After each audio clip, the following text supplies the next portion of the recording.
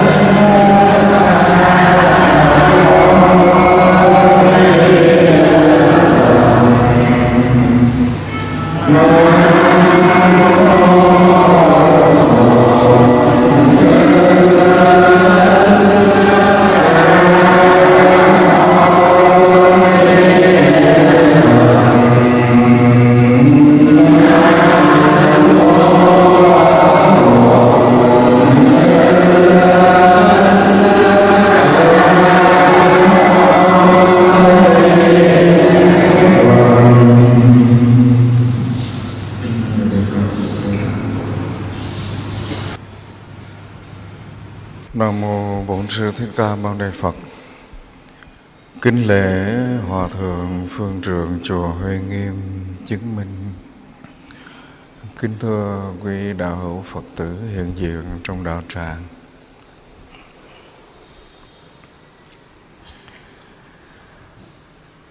Trong à, Phật giáo,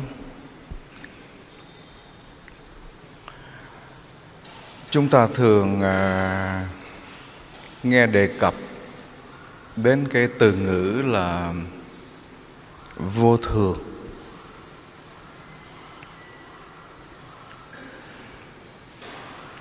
Hôm nay đại chúng sẽ sẽ uh, học về hai chữ vô thường.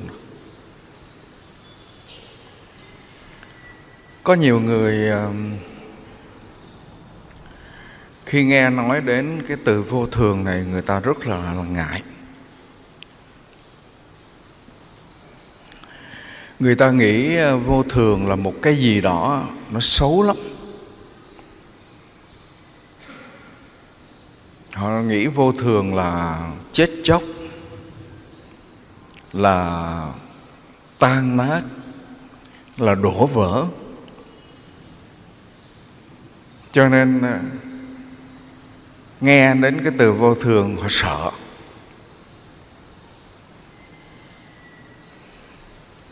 Để giúp cho mọi người à, hiểu đúng nghĩa và không có những cái ý nghĩ sợ hãi, xa lánh nó.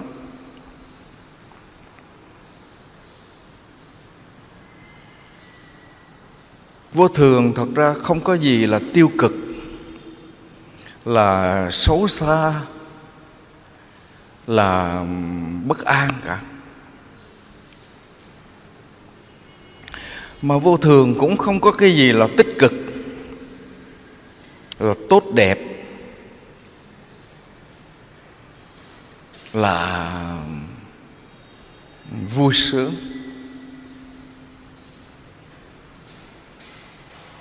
Vô thường là là biến đổi vô thường là cái cái cái cái cái sự thay đổi. Nó luôn luôn nó nó nó biến chuyển. Không ở, không trụ ở một hình thái nào mãi.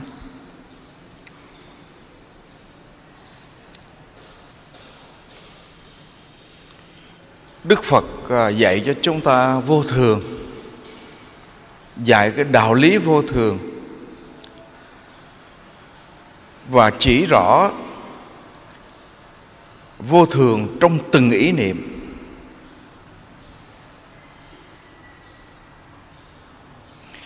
Chúng ta thường ờ, nghe người ta nói, một phút vô thường, ngàn thu vĩnh biệt. Là người ta nói cái từ cái từ ngữ vô thường trong cái cái cái cái dịp lễ tang, nói cho nó có hay, nó nhẹ nhàng. Tức là nói hãy tắt thở rồi, thì ra đi vĩnh viễn, không bao giờ gặp lại. Thật ra cái vô thường đó đó, nó là vô thường trong cái kiểu gọi là nhất kỳ vô thường. Đùng một cái, ngã lăn ra, bất tỉnh, tắt thở. Thì mình nói là vô thường, tức là chết. Thì cái vô thường đó là nhất kỳ vô thường, tức là trong một cái giai đoạn, vụt một cái là nó thay đổi hoàn toàn. Nhưng có cái cái vô thường á nó không phải đợi đến lúc đó nó mới thay đổi. Đức phật có dạy cho chúng ta cái cái cái, cái sát na vô thường.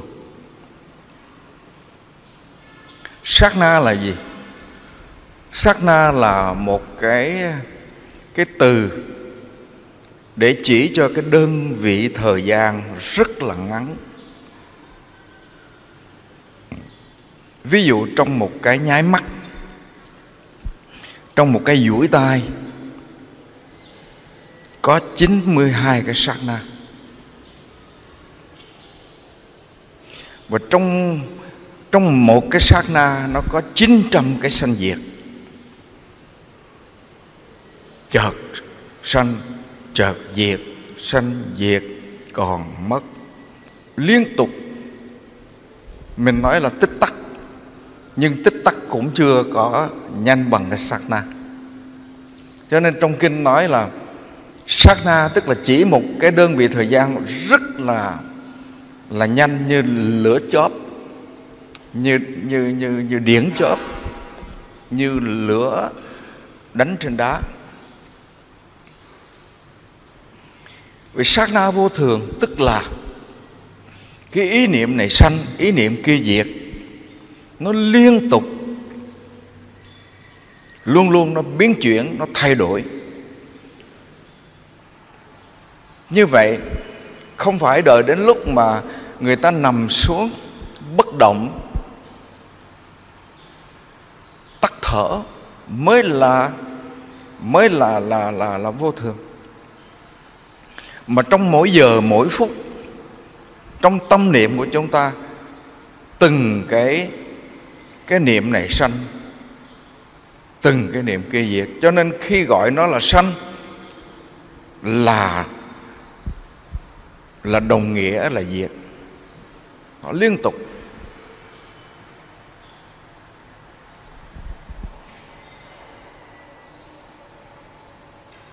Nó luôn luôn nó biến đổi nó luôn luôn nó nó nó nó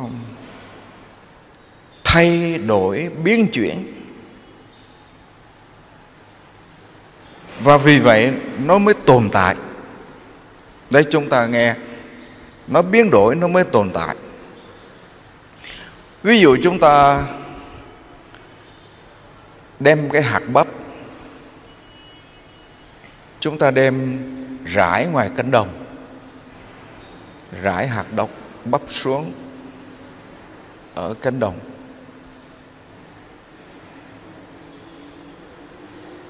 Thì vài à, ngày một tuần chúng ta sẽ thấy hộp hộp, hộp bắp đó nó không còn nguyên cái hiện trạng. Đúng đó hộp bắp nó đã nó đã thay đổi nó đã biến chuyển thành cái lá thành cái chồi. Rồi thời gian à, mỗi ngày nó phát triển nó lên cái cây nó cho nhiều lá. Cho đến một lúc nào đó nó ra bông và nó kết trái.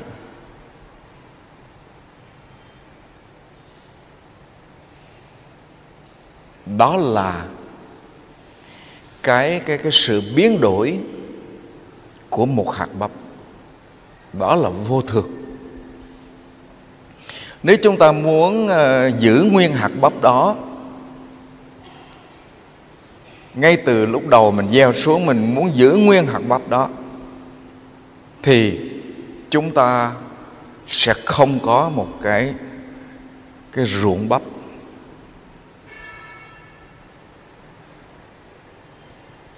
Cho nên, hạt bắp đó nó luôn luôn biến đổi. Và nó biến đổi theo đúng thuộc tính của nó. Vì vậy, chúng ta mới có bắp.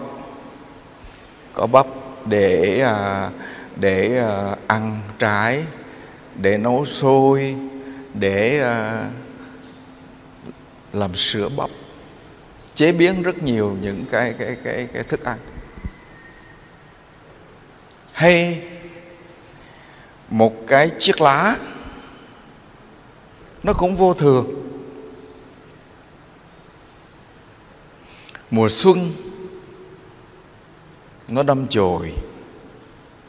Mùa hạ, nó phát triển. Mùa thu, nó nó nó bắt đầu, nó nó đứng hình và nó héo úa mùa đông nó rụng tàn.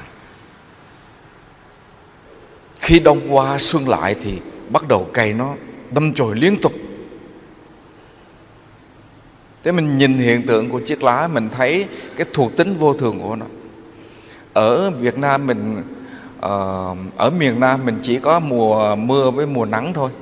Thành ra mình không thấy rõ. Chứ ở cái vùng mà nó có đủ bốn mùa đó, qua mùa thu mình thấy lá vàng hết ở Đại Hàn ở Nhật Bản ở những nước mà nó có đủ bốn mùa hay chúng ta ra miền Bắc á, cái mùa mùa thu á, lá nó vàng nó đỏ đẹp lắm. Nhưng qua đông thì thấy nó rụng hết đến khi đông về thì lá nó rụng hết cây trơ cành vậy thôi. Rồi khi mà đông nó qua xuân lại thì bắt đầu trên thân cây nó đâm chồi trở lại. Đó những chiếc lá đó nó biểu hiện mỗi lúc khác nhau nhỏ rồi nó tăng trưởng rồi nó định hình và nó héo úa sau đó nó tàn tạ. Nó tàn tạ nó cũng không mất đi đâu. Cái lá nó nó rụng nó rụng xuống. À, người ta à, giữ cái lá đó để nó làm mát mặt đất nó trở thành thành thành thành phân và nó tiếp tục để nó nuôi dưỡng cái cây mẹ nó và nó phát triển. Nhìn thấy cái cái bông hoa này cũng vậy. Nhìn thấy cái bông hoa này chúng ta nhìn một cách sâu sắc thì chúng ta cũng thấy cái tính vô thường của cây hoa. Hoa này rất là tươi.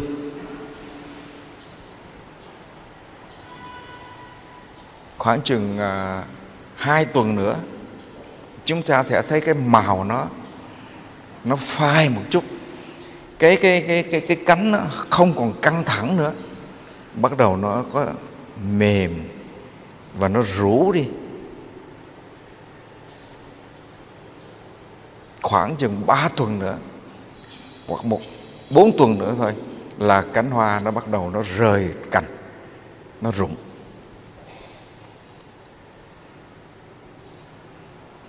Nó rụng đi. Rồi mình thu dọn cái rác đó mình cho ra ngoài à, cái hố để mình à, mình ủ lại. Nó mục nó trở thành đất. Rồi mình lại sử dụng cái đất đó để để tưới bón cho cho cái cây à, à, lan khác cho những cái cái cái cây giống khác và nó trở lại.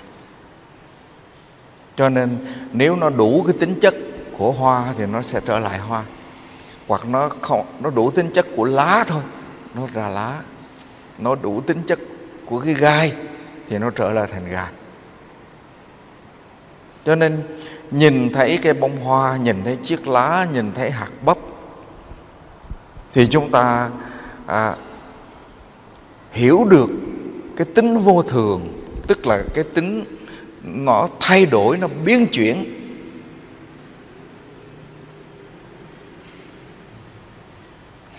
Và vì vậy mình sẽ bình yên.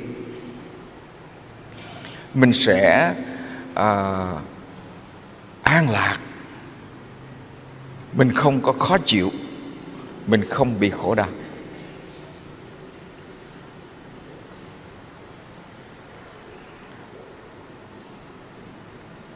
Vừa rồi có mấy phật tử ở xa cũng mấy năm rồi 10 năm có họ mới có dịp mà à, về và đến chùa. Đi lại Phật cho, cho gặp. Rồi thầy trời ơi sao thầy già dữ vậy? Sao, sao, sao nhìn thấy thầy già quá vậy? Râu bạc hết rồi. Nếu mình không hiểu ờ, ai mà gặp mà chê già chê đen Chơi xấu, buồn lắm phải không? Cái tâm lý chung mà. Ai cũng muốn khen đẹp, khen trẻ.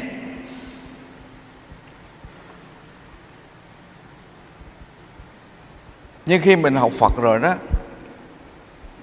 mình thấy cái đó là bình thường.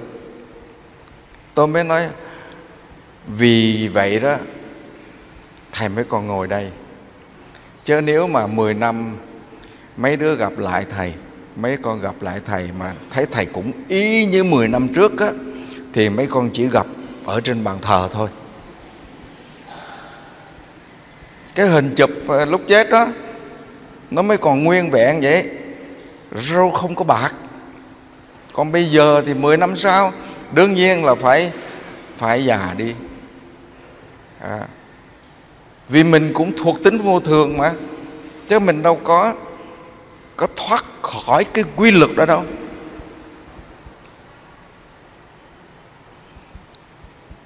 Mỗi sự mọi vật luôn luôn biến đổi thì con người cũng luôn luôn biến đổi. Nhưng có nhiều người á, hồi nhỏ ốm lắm, xấu. Nhưng mà khi tu tập thời gian sau này tự nhiên á tướng hảo quang minh. Tự nhiên thấy nó sáng sủa ra, đẹp ra. Nhưng có nhiều người lúc nhỏ rất là đẹp. Nhưng không biết tu học làm sao, làm ăn làm sao, mà về già cái tự nhiên xấu ra. Tại nó không trong cái cái cái biến đổi đó đó, nó không đủ cái tính chất của hoa cho nên nó trở lại làm gai. Nó không đủ tính chất của hoa cho nên nó trở lại làm cái lá.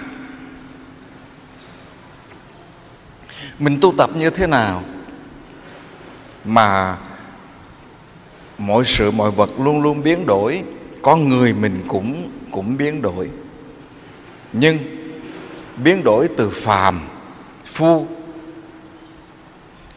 dần dần trở thành thánh hiền.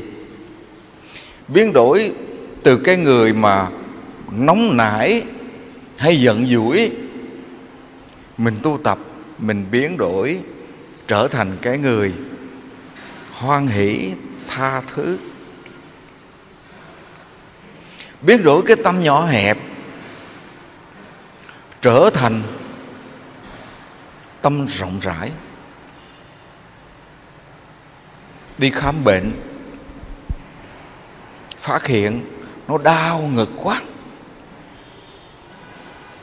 Nằm ngủ có khi nín thở. Vài giây vậy rồi mới lấy hơi lại. Chừng đi khám bệnh bác sĩ nói bị khối u bị cái uh, cái dây gì đó, nó bị nghẽn gì đó. Nghe bệnh, nghe ung thư, nghe bị bệnh gì đó, hở van tim là nghe buồn lắm rồi. Nhưng thầy yên tâm đi. Bệnh này có thể chữa trị được. Y học ngày nay rất là là là giỏi, có thể can thiệp được. Thầy cố gắng thầy điều trị. Vì vô thường, cho nên mình có cái niềm vui, hy vọng trị bệnh được. Bệnh này rồi, thôi về cứ ăn gì đó đi ha. Là chúng ta biết sao rồi đó. Đi thỉnh bộ tỳ lô quán đảnh để sẵn. Chuẩn bị đồ liệm rồi. Nếu không thay đổi, mọi sự, mọi vật không thay đổi, là là xong rồi đó. Là chấm hết.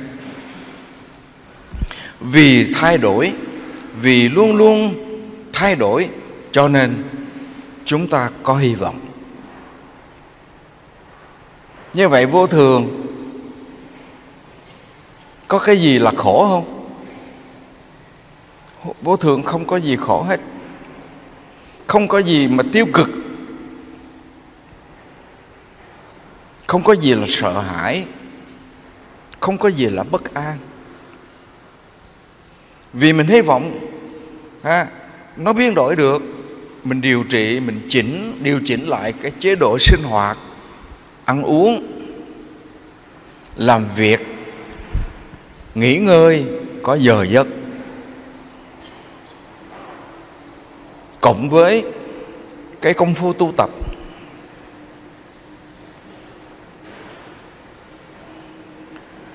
Ở ờ, trên chùa, sáng chủ nhật nào cũng lại ngủ bách danh. 6 giờ sáng, lại đến 7 giờ, ngủ bách danh là 500 lễ nhưng mà lại có 100 lễ 100 lại thôi, rồi tuần sau mới lại tiếp. Có nhiều vị nữa, thầy cho lại 500 đi. Tôi nói, siêng năng đột xuất mà lười biến trường kỳ. Bữa nay đòi lại 500 lại. Tuần sau, không còn ma nào hết. Mỏi chân, rã gối, chưa ăn gì một hồi nó bái sai, bài sai luôn. Làm gì mà có có tiếp tục nữa cứ duy trì bình thường. Một trăm lại thôi. Nhưng lại thật là là khoan thai. Lễ xuống, năm vóc phủ phục sát đất đứng dậy, duỗi thẳng người. Lễ xuống như vậy, tuy một trăm lễ lễ 45 phút. Lễ xong rồi đó, cái cà sa ở ngoài, áo hậu ở trong, vạt vạt khách, nó ướt hết. Bao nhiêu phiền não, bao nhiêu độc tố, bao nhiêu ờ, mỡ, bao nhiêu ờ, đường gì nó ra hết nó theo những cái giọt mồ hôi nó ra hết. Cho nên, nếu chúng ta ý thức ý thức về vô thường, nó có mặt ở mọi vật. Nó chi phối mọi sự, mọi vật. Cho nên chúng ta sinh hoạt có nề nếp phối hợp với sự tu tập, thì tự nhiên chúng ta có thể chuyển hóa, chúng ta có thể biến đổi. Tôi xin à, hôm nay mình nói pháp chứ không phải nói vấn đề trị bệnh nha, nhưng mà tôi xin mở một cái ngoặt cho này. Có một cô phật tử cũng khoảng tầm bốn mươi mấy tuổi thôi cổ có hai đứa con. Anh chồng cổ là người cận trụ của chùa viên giác bữa cổ đến cổ thăm, cổ nói, thưa thầy, con bị à, vừa phát hiện cái bệnh, bị bệnh thoát vị đĩa đệm. Thật ra mà nói, tôi cũng không biết chính xác thoát vị đĩa đệm là cái bệnh gì. Họ nói, lại không được, ngồi không thẳng. Tôi nói, vậy hả? Thôi giờ tôi bày cho cô.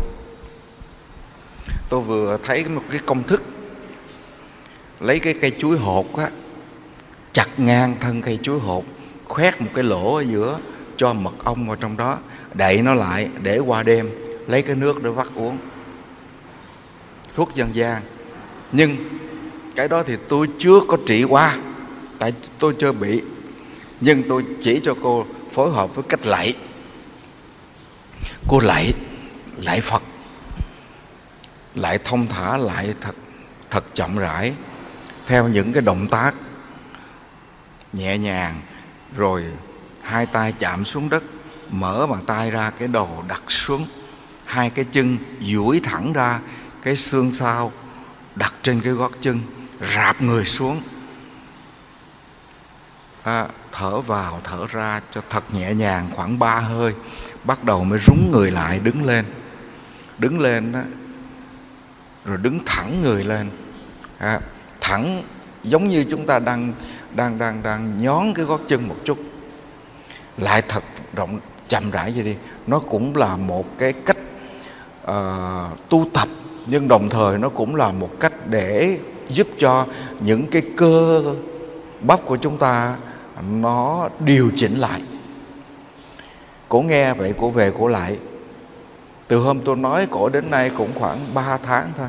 Cổ nói thưa thầy tự nhiên cái bệnh đó hết mà con chưa uống nước uh, của cây chuối hột bao giờ.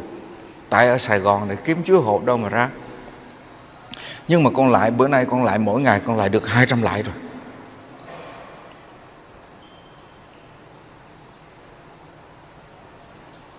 Vì chúng ta thấy tuy rằng vô thường luôn luôn chi phối mọi sự mọi vật và chúng ta cũng thuộc tính vô thường. Do cái sinh hoạt gì của chúng ta trước đây mình không có ý thức cho nên mình để lại những cái nặng nề của xác thân những cái mệt mỏi của tâm thức những cái buồn chán à, của của của tuyệt vọng. Nhưng cái này nó thuộc về tính vô thường nó biến đổi nó thay đổi. Vấn đề là chúng ta có ý thức để mà chuyển đổi nó hay không? Mình tham gia vào sự biến đổi đó. Thay vì từ bệnh ít nó đi tới bệnh nhiều là mình để nó buông thả, mình không kiểm soát nó. Nay chúng ta ý thức ý thức đến cái bệnh tật và nó có thể chuyển đổi. Cho nên chúng ta tham gia bằng cách là điều chỉnh cái giờ giấc làm việc ăn ngủ chừng mực sinh hoạt à, có quy củ phối hợp đến cái sự tu tập. Chúng ta có thể à, thay đổi cái bệnh tật trở lại sức khỏe. Chuyển hóa những cái buồn chán trở thành lạc quan. Thay đổi cái sợ hãi, bất an, trở thành cái bình yên, vững chãi. Vì thay đổi, vì nó vô thường, cho nên chúng ta mới đi trị bệnh. Chứ đi trị bệnh mà không chuyển hóa, không thay đổi, thì thôi đi trị gì tốn tiền. Tu tập mà không thay đổi gì hết, không hy vọng gì hết thì tu làm gì? Chính vì không có cái tuệ giác vô thường cho nên nhiều người nhiều bạn trẻ đã hành động đen tối tự vẫn quyên sinh vì họ à, thấy bế tắc. Họ nghĩ rằng họ không thoát khỏi những cái khổ đau đó.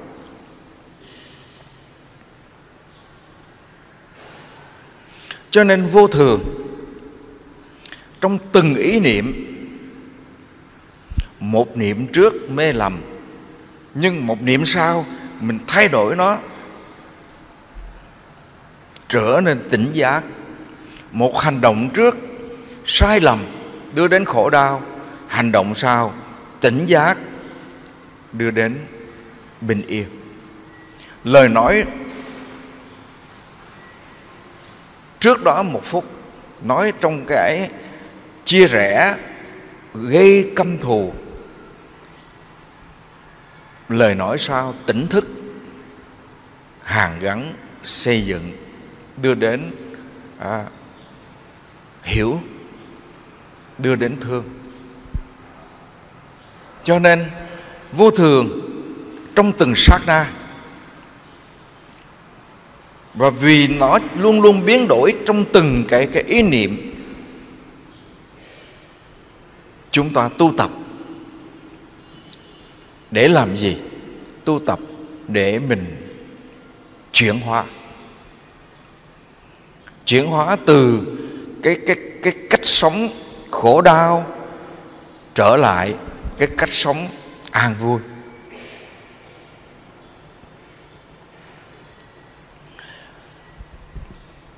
Đến một lúc nào đó bất chợt 10 năm sau người ta gặp lại. Ồ, ông khỏe không? Sao hôm nay con thấy ông đẹp ra? Vui chứ. Mình vui thật.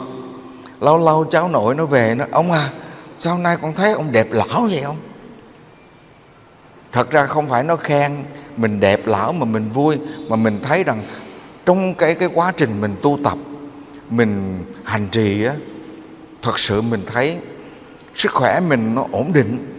Đi đứng dù là bảy tám chục rồi nhưng mà vẫn còn vững vẫn còn à, à khỏe. Cái niềm vui vì mình thấy được mình có sự thay đổi.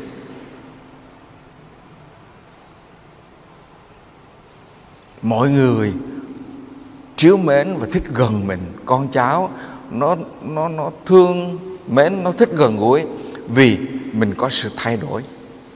Chứ mình không có uh, uh, cố chấp không có nóng nảy không có mà mà mà, mà bắt bẻ như trước đây. Nhờ mình thay đổi. Cho nên cái cái cái thuộc tính vô thường nó luôn luôn nó biến đổi theo đúng đúng cái thuộc tính của nó. Nhưng nếu chúng ta biết tu tập, chúng ta có thể biến đổi, đưa nó lên một cái giá trị cao hơn. Cái hoa này nè, cái người thợ làm vườn, ngày nay họ họ can thiệp được. Họ muốn cho cái hoa này nó hồng hồng đỏ hơn, vàng vàng thẫm hơn. Muốn cho cái trái kia nó ngọt ngọt đậm hơn.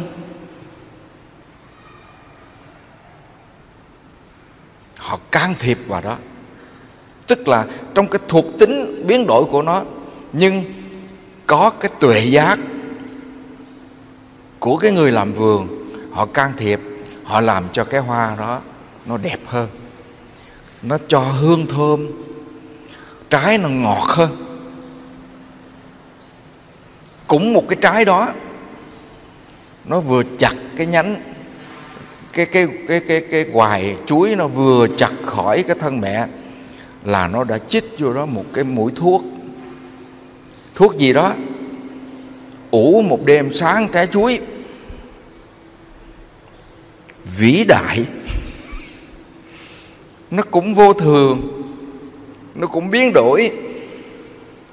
Nhưng hành động đó không có không có từ bi. Sử dụng cái đó nó để lại rất nhiều bệnh tật. Cho nên, từ bi và trí tuệ là hai cái chất liệu luôn luôn phải có mặt trong lời nói, hành động và ý nghĩ để mình có khả năng chuyển hóa.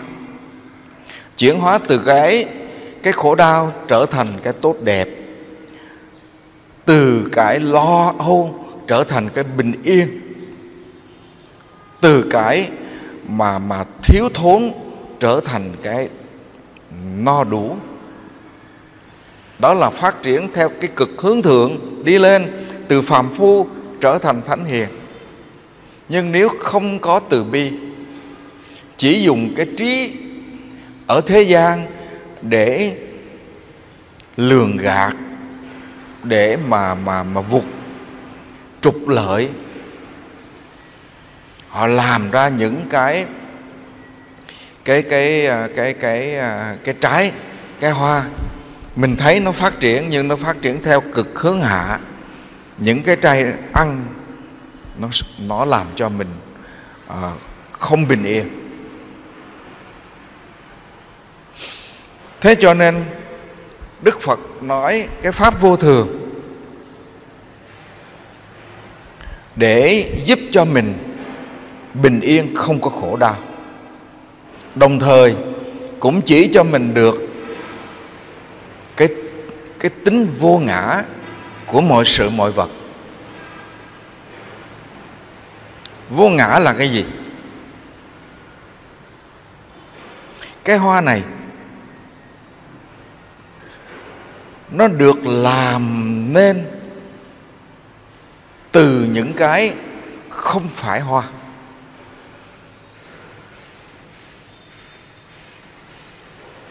Nó nhờ đầu tiên nó chỉ là một cái cái cái cái um, cái giống thôi. Một cái mầm một cái chồi thôi. Nhưng nó nhờ à, phân đất. Nó nhờ nước tưới. Nó nhờ à, à, hơi sương. Nó nhờ gió. Nó nhờ mặt trời và nó nhờ cái cái sự chăm sóc của cái người làm vườn. Nó nhờ nhiều những cái yếu tố đó hội tụ lại mà nó nuôi dưỡng thành cái hoa. Như vậy hoa này nó được làm bằng những cái không phải là nó. Cho nên hoa này nó không có tự ngã. Nếu chỉ có cái cái cái cái cái chồi đó thôi mà nó không có những cái yếu tố khác thì nó sẽ thiếu những cái điều kiện hỗ trợ đó đó. Nó đâu thể nào kết thành cây hoa. Cũng vậy, cái thân của chúng ta, khi mẹ chúng ta sanh ra, một em bé vừa mới lọt lòng khoảng bao nhiêu ký? Hai ký bảy. Có có thể nhiều hơn chút không? Có. Nhưng những em bé sinh mà thiếu tháng, có thể nhẹ hơn. Hai ký bảy. Cái đồng hồ này mấy ký? Nhưng mà ngày hôm nay á, tôi 75 kg nếu tính từ cái lúc mà mới sanh ra có 2 kg 7 hả? 2 kg 7 thôi.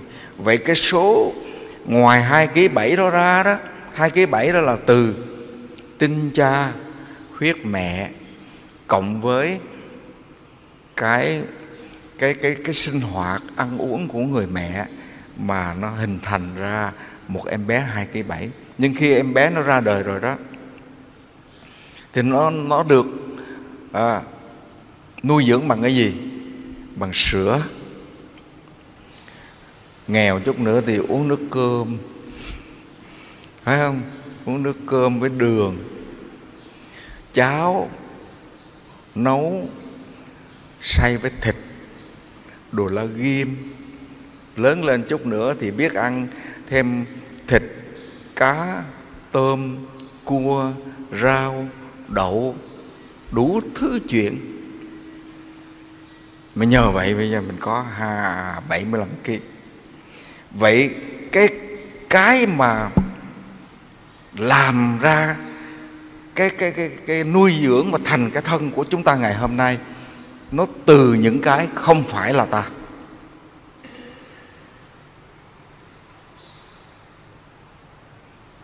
Vô ngã là cái đạo lý đó. Cho nên,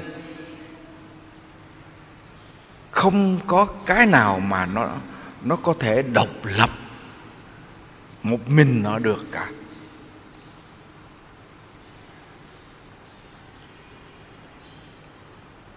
Mà nó phải nhờ nhiều cái hỗ trợ để tác thành, để trở nên. Cho nên hiểu được cái lý vô thường thì chúng ta thấy trong cái tính vô thường đó, nó đã biểu hiện được cái đạo lý vô ngã. Vì vậy, chúng ta không bao giờ nói tôi là số một tôi là trung tâm điểm của vũ trụ đây. Không ai dám nói như vậy hết. Tại vì không có cái gì độc lập một mình mà tồn tại được cả. Nó phải nhờ nhiều thứ hỗ trợ lại. Mình hiểu được như vậy rồi, mình sẽ thấy hạnh phúc. Vì mình cho mình là số một á, cho nên bất chợt nghe ai nói mình tới số 10 cái mình buồn. Phải không? Mình cho mình là giỏi. Ai nói mình dở là mình không vui. Mình cho mình là đúng á. Cho nên mai mốt có người chỉ ra cái sai, cái mình buồn. Hiểu được cái tính vô thường, thì quán triệt được cái tính vô ngã.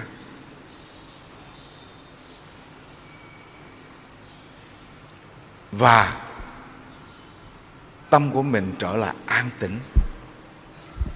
Mọi sự, mọi vật nó luôn luôn biến đổi. Nhưng mình không chạy theo cái cảnh biến đổi đó để đánh mất mình. Vô thường, vô ngã và niết bàn là ba cái dấu ấn, là ba cái khuôn dấu mà mình thấy đức phật luôn luôn đề cập đến. Vô thường không có cái gì là khổ. Vô ngã cũng không có gì là khổ.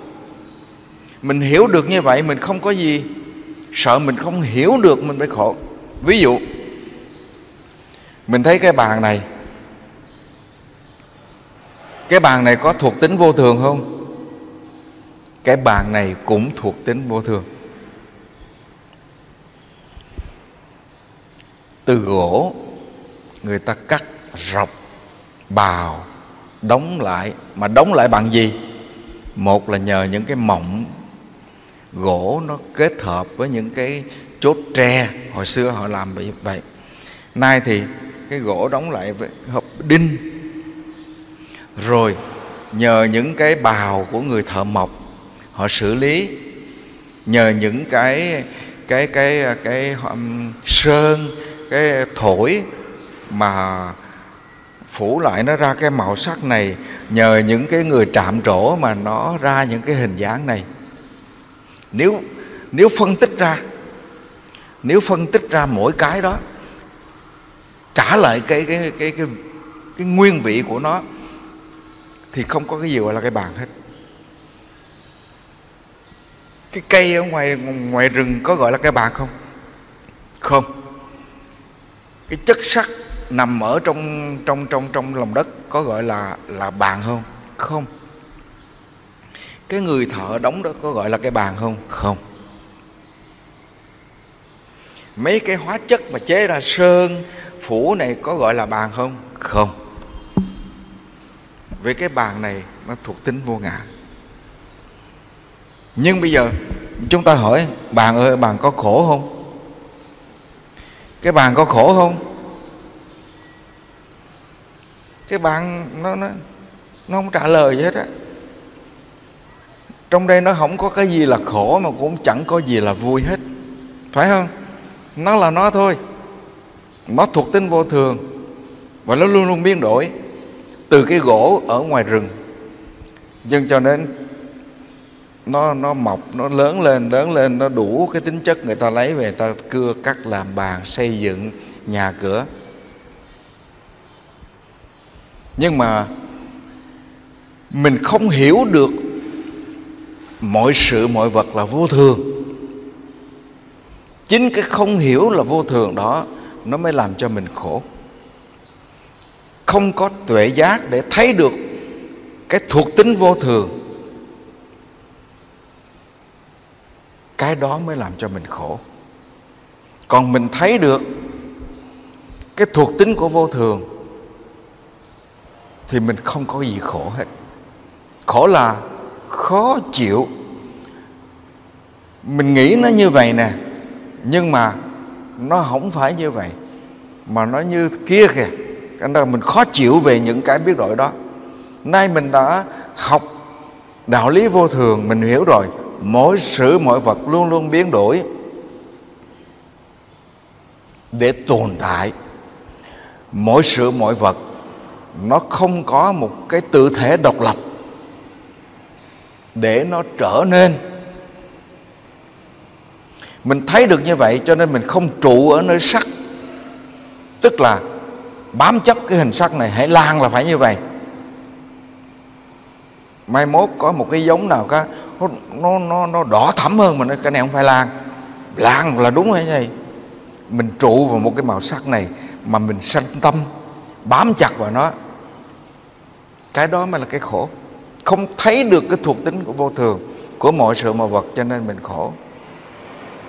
Bất chợt mình nhìn lại cái thằng cháu nội mới ngày nào mình còn ẩm nó mình đút sữa nó. Bữa nay nó 18 19 tuổi rồi. Lỡ đây ông đựng chút. Tai ông hút thuốc lá hôi quá. Nhiều khi mình buồn, mình khổ. Trời, thằng này không biết phải có cháu nội tôi không? Hồi đó, lúc nào nó cũng nắm áo tôi, nó đi theo. Bây giờ nó không chịu đi theo nữa. Mình buồn. Vậy là mình muốn nó lúc nào cũng còn nằm trong nôi để mình vỗ về nó sao? Nó luôn luôn nó biến đổi để nó được tồn tại nhưng cái vấn đề giáo dục, cái vấn đề mà mà mà chăm sóc, mình mình có tuệ giác để mình chuyển hướng dù nó biến đổi, nhưng nó được giáo dục trong một cái môi trường, trong một cái gia đình. Cho nên á, tuy nó ngày nay nó 17 tuổi 18 tuổi, nhưng nó vẫn còn giữ được cái đạo đức, cái nề nếp, cái truyền thông giữa ông với cháu, giữa con với ba mẹ. Cho nên gọi dạ bảo vân, vẫn biết kính biết thờ, dù nó trưởng thành. Nó không phải là đứa bé nằm trong nôi nữa đâu. Ngày xưa, mình rót nước cho nó, cho ngày nay nó đỡ mình, nó đút nước cho mình uống. Đó là vô thường. Mỗi sự, mọi vật luôn luôn biến đổi. Cho nên, mình hiểu được cái tính vô thường. Mình hạnh phúc vì thấy con cái của mình nó trưởng thành ngày xưa mình thống lý hết nhà cửa, mình sắp đặt hết. Ngày nay á, mình lão giả an chi, ngồi một chỗ niệm phật. Con cái nó lo lắng hết. Thấy hạnh phúc quá. Ngày nay á, mình không còn là người quyết định mọi việc trong gia đình. Tất cả con cái của chúng mình, nó đều trưởng thành theo cái nề nếp đạo đức mà mình đã truyền trao. Mình trao hết cho nó rồi bây giờ mình ngồi mình hạnh phúc. Chứ bây giờ còn nắm một sâu chìa khóa, dắt ở đây. Cái đó vui không? Mệt đó chứ. Đó. Cho nên, vô thường không có gì là sợ hãi. Vô thường không không có gì là khổ. Vô ngã cũng chẳng có gì là khổ. Vì không thấy được cái thuộc tính vô thường, vô ngã của mọi sự, mọi vật, nó mới là cái khổ quý phật tử để ý cái chỗ này. Cho nên khi nói vô thường là khổ, thật ra là nói cho dễ hiểu chứ không không thể đơn giản. Mà giải thích như vậy, nó không có trúng. Vô thường không có gì là khổ, vô ngã không có gì là khổ. Tại vì mình hiểu được cái cái thuộc tính vô thường, cái tính chất vô thường ở mọi sự, mọi vật. Cho nên mình không có khổ đau khi thấy mọi sự, mọi vật nó luôn luôn biến đổi để trở nên. Nó thay đổi để để tồn tại và nó hỗ trợ để tác thành. Vì thấy như vậy cho nên mình luôn luôn có bình yên, có hạnh phúc. Cho nên đức phật dạy vô thường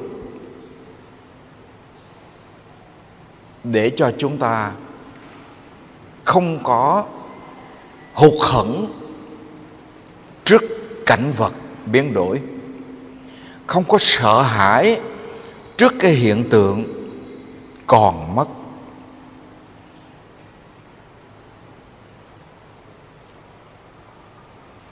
Bất chợt một lúc nào đó, mình à, thấy à, ông nội mình ra đi. Ngày xưa ông cháu à, hữu hỷ với nhau. Nhớ từng những cái lời dạy của ông à, từ những cái chăm sóc nay ông đã ra đi rồi mình buồn nhưng mình không khổ. Buồn vì ngày nay mình không còn được à, nghe cái giọng nói của ông. Không còn thấy mỗi sáng sớm à, ông thắp cây hương lại phật không còn nghe được cái tiếng chuông khoan thai nhẹ nhàng của ông thỉnh chuông ở cái phòng thờ. Nhưng bất chợt, một lúc nào đó, mình nhìn thấy, ồ, cái dáng dấp của ông nội cũng có mặt ở trong ba mình. Ba mình tự nhiên, bây giờ thấy cái dáng y chang ông nội. Cái nụ cười của đứa em mình sao bây giờ tự nhiên nó giống ông nội quá? Ông đã truyền trao lại hết rồi. Thành ra, ông không có mất thể xác. Tuy là nó theo cái luật sanh diệt biến đổi mất, nhưng cái tinh anh, cái dòng chảy huyết thống của tổ tiên không có mất. Rồi một lúc nào đó, bất chợt, mình thấy một em bé vừa ra đời cất lên một cái tiếng khóc, có cái nụ cười hệt ông nội mình nếu ông còn có duyên trở lại thế giới này và mình sống với ông có rất nhiều ân nghĩa ông đã truyền trao mai mốt gặp lại gặp lại trong cái niềm à, thương mến trong cái sự bình yên đâu có mất. Hiểu được như vậy tuy rằng buồn trước cảnh sanh ly mà ta gọi là vô thường đó nhưng không có khổ vì cái hiện tượng ẩn đi chúng ta làm cái bài toán coi ngày nay, trong cái ngày nay, tất cả các cái cái cái cái cái bảo sanh viện ở thành phố thì cùng kiểm tra là ngày nay có đến 100 em bé ra đời. Tôi thí dụ thôi chứ tôi không nắm rõ cái con số đó. Nhưng mà chúng ta làm cái bài kiểm toán ở các cái phường mà người ta làm giấy khai tử cũng cùng một lúc như vậy, có thể khoảng 100 hoặc hơn cái số đó cộng trừ, vừa mới khai tử cho nên, sanh là hiện tượng của diệt diệt là hiện tượng để sanh. Sanh diệt là hiện tượng. Hễ khi nó đủ duyên thì nó biểu hiện thành cái hoa. Khi nó hết duyên thì nó ẩn đi, nó trở lại thành rác, thành phân, thành đất. Rồi đến một lúc nào đó, nó đủ duyên, thời tiết nó trở lại thành bông hoa, hoặc nó trở lại thành lá hoặc trở lại thành thân cây, hoặc nó trở lại thành cái gai của cái cái thân cây. Luân hồi lên xuống, khi làm trời, khi làm người, cũng từ cái nghĩa đó. Cho nên chúng ta thấy rằng là mình cũng thuộc tính vô ngã. Vì mình được thành từ những cái không phải là mình. Cho nên mình không bao giờ à, tự cao tự đại tự tôn tự xưng. Vì vậy mình sẽ không có khổ đau trước những cái thị phi khen chê được mất thương ghét. Mình sẽ bình an.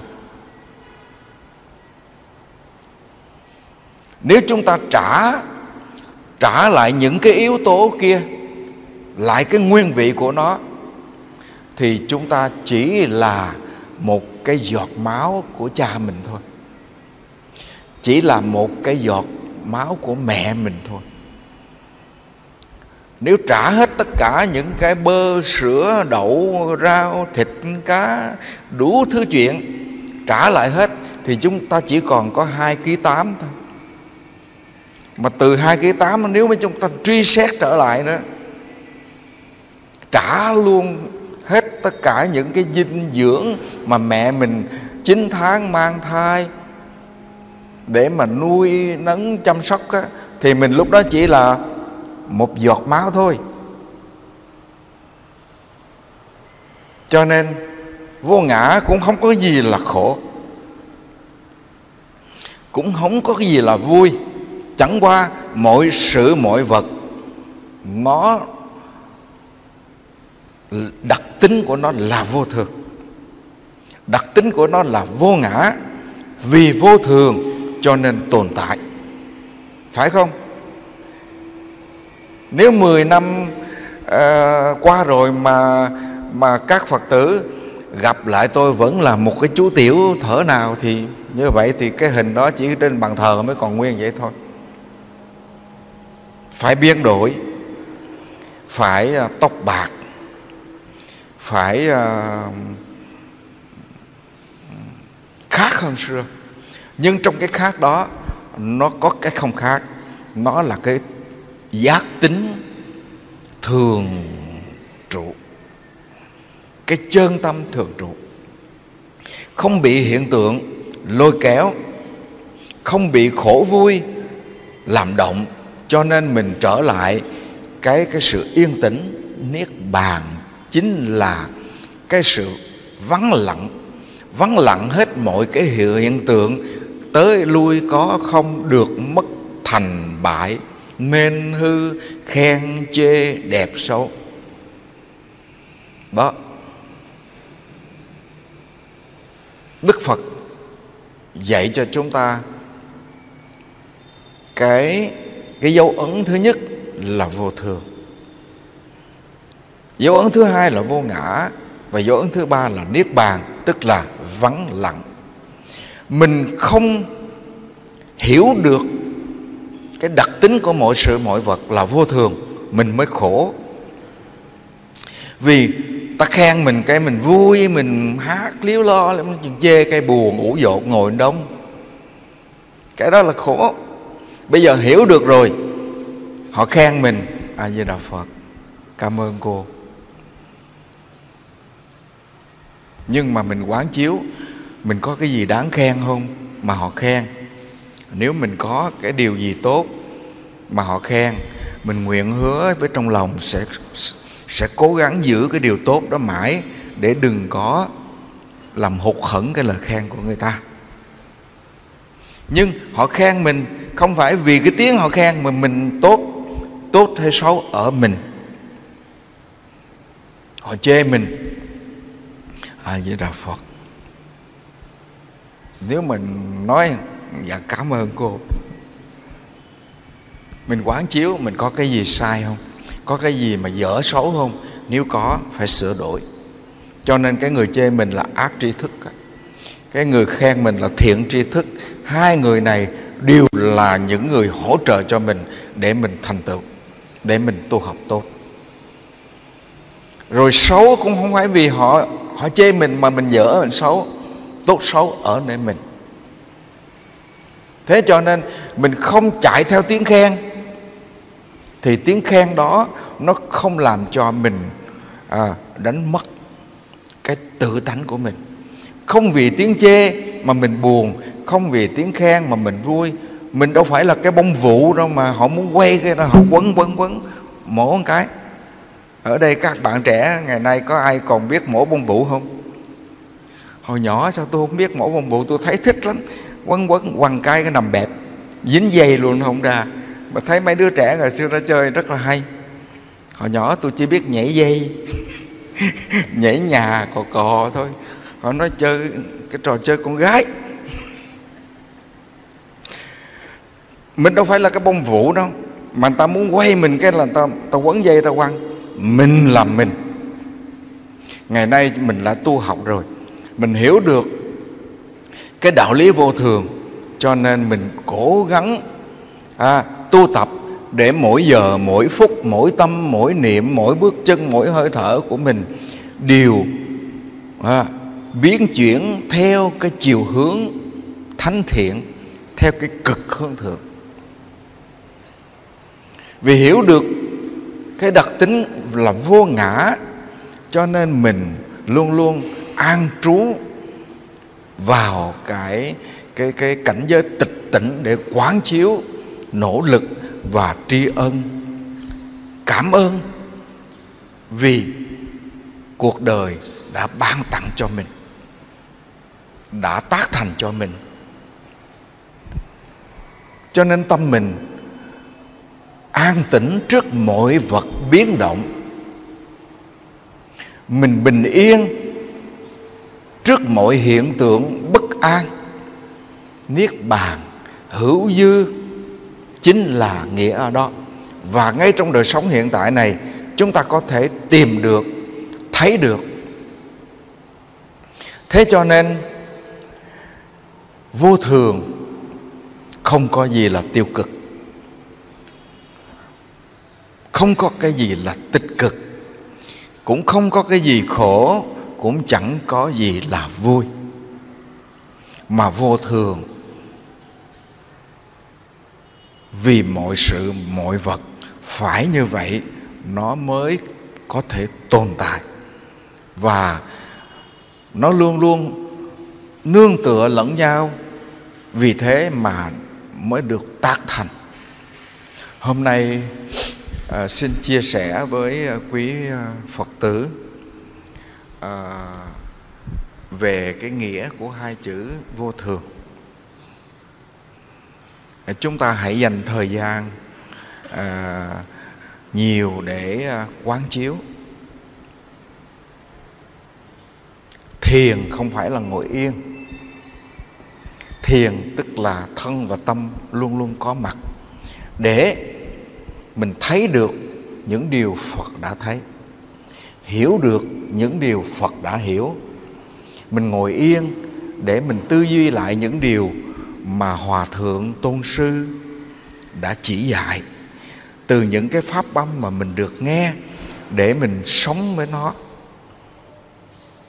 Mình ứng dụng những cái điều đó vào trong cuộc sống của mình để mình có bình yên. Có bình yên là có hạnh phúc cầu cho quý đạo hữu phật tử lúc nào cũng có được an lạc và hạnh phúc. Chúng ta dừng lại ở đây. Xin thỉnh đại chúng khởi thân hồi hướng.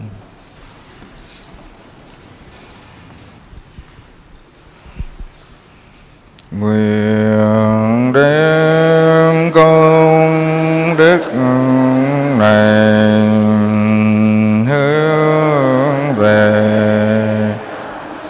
tất cả đệ tử và chúng sanh đều trọn thành